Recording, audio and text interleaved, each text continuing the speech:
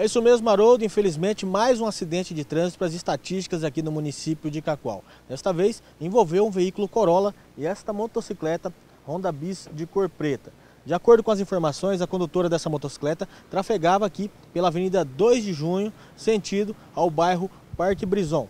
Momento esse que o veículo Corolla avançou a preferencial, provocando a colisão. Com a força do impacto, a condutora da motocicleta teve uma fratura em um dos braços e com isso a equipe do Corpo de Bombeiros foi acionada e conduziu a mesma até o Hospital Euro para receber os atendimentos necessários.